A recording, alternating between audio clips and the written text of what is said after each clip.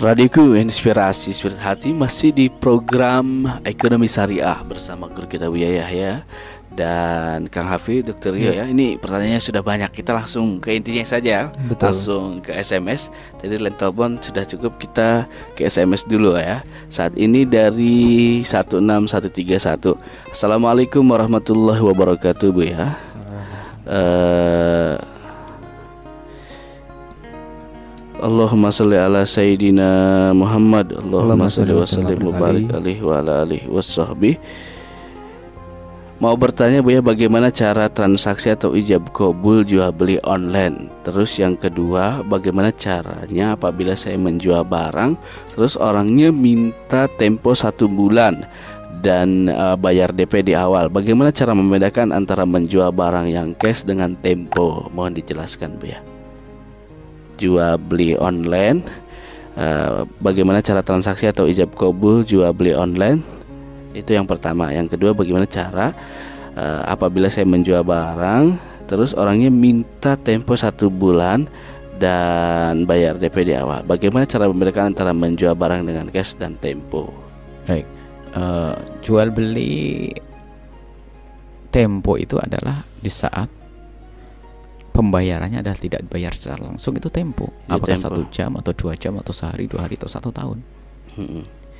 Dan itu diperkenankan asalkan bukan dijual beli amwal ribawiyah seperti emas dan uang, emas dan Hmm. perak. Nah, Tuh. adapun masalah eh apa namanya? eh, jual beli online ya jual beli online ini Ijab kabulnya pembahasan lain. Ijal kabulnya sebetulnya gini loh ya. Di dalam madhab Imam Syafi'i radhiyallahu taala anhu memang harus ada ijab kabul.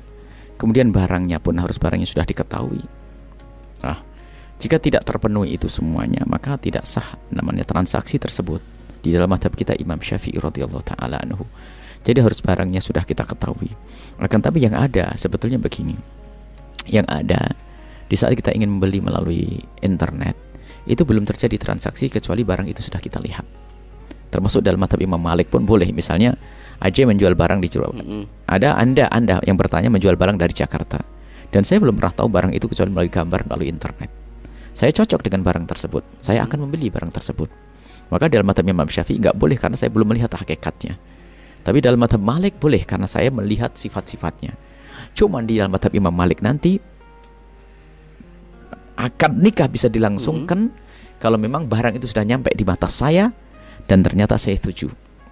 Akan tapi di situ ada khiyar. Kalau ternyata saya tidak setuju, maka saya kembali kembalikan. Kembali. Baik, ini caranya semacam itu. Kalau transaksi online itu, karena yang dijaga adalah dua belah pihak. Mm-mm. Sekarang Anda tidak jual beli online, ternyata barang sudah dibayar sampai ke tempatnya barangnya tidak sesuai. Banyak dan orang kecewa. Mau dikembalikan, kembalikan ke mana? Dia nggak mau. Karena Islam memang dalam transaksi tidak boleh ada yang dirugi, dirugikan. Semuanya adalah senang barang, senang membeli, satu senang menjual, satu senang membeli.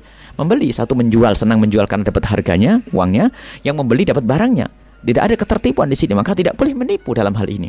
Lah, adapun masalah transaksi itu bisa diatur. Masalah transaksi itu bisa sangat dimudahkan ya.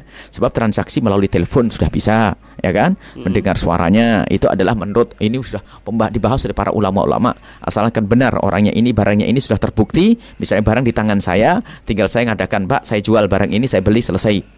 Hmm, termasuk catatan tulisan juga bisa masuk bab transaksi, ya. Catatan bisa transaksi ditandatangani, ditandatangani bisa. Itu bahasanya.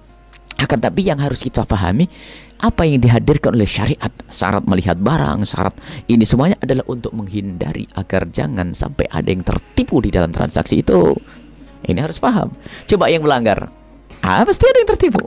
Memang ada yang dapat, tapi banyak yang ter tertipu, tertipu. Kalau di foto kan jadi bagus. Mm-mm. Ah.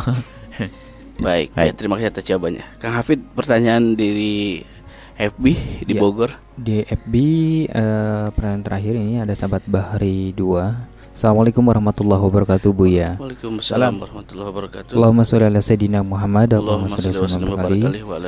Dari sahabat Bahri mendengarkan via radio Kubogor di Cibubur Bu ya Mau bertanya fenomena cicilan emas yang marak di bank syariah Apakah ada solusi yang sesuai dengan syariat Bu ya Untuk bisa mencicil emas ini Apa gimana? Ulang, Ja- ulang. Tentang fenomena eh, cicilan emas yang marak di bank syariah Sudah salah itu. Itu sudah itu yang salah yang harus dirubah. Biarpun yang ada kan bank syariah.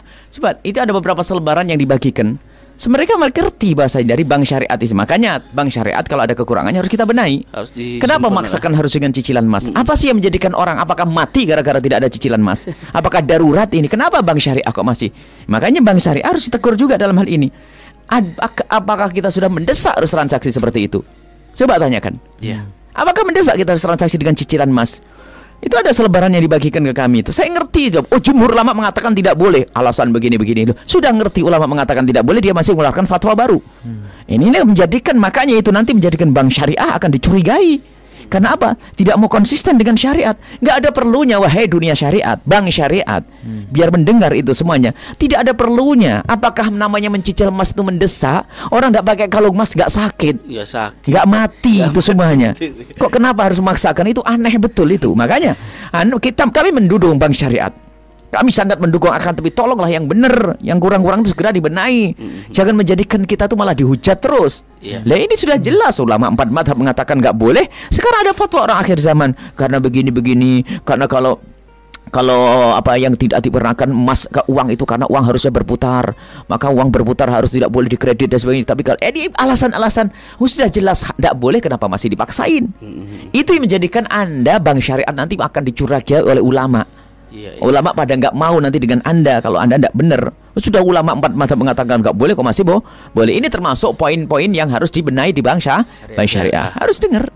Apa namanya? Eh, harusnya juga bank syariah juga mengangkat apa nasihat syariahnya harus dari ulama jangan orang yang dari konvensional diangkat ini juga perlu hmm. dibenahi juga oh iya benar, harus kita benar. gencarkan juga hmm. gitu baik uh, terima kasih uh, Bu atas jawabannya. Ini pertanyaan terakhir sangat penting di 7891 Assalamualaikum warahmatullahi wabarakatuh Bu ya dengan hamba Allah. Allahumma salli wa sallim wa barik alaihi wa saya orang awam.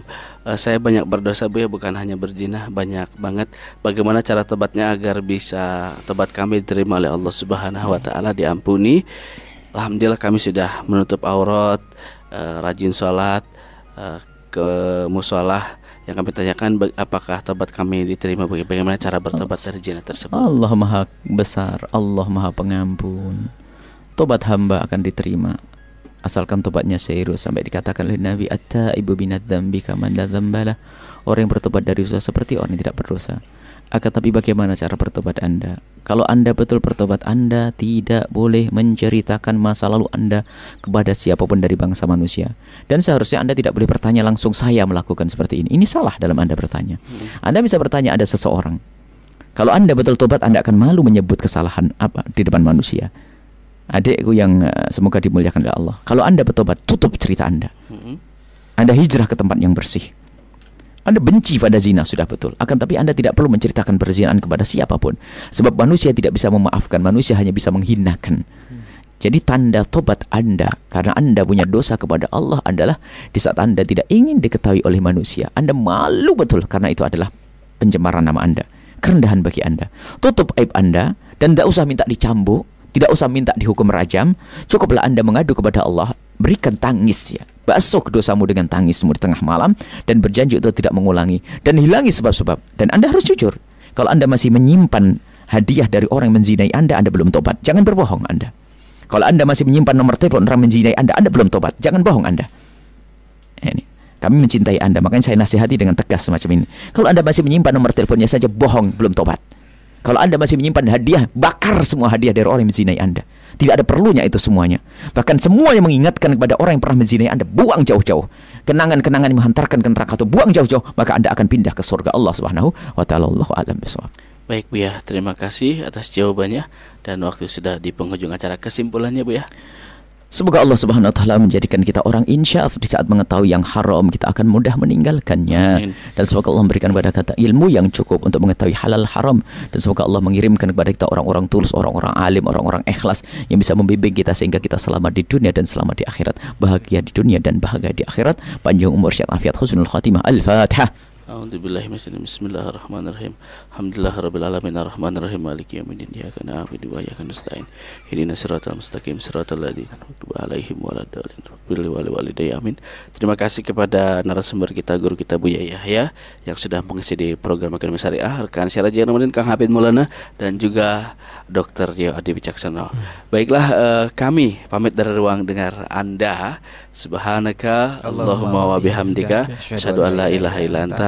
astaghfiruka wa. Terima kasih untuk media uh, Radio Network dan media partner Radio Go. Wassalamualaikum warahmatullahi wabarakatuh.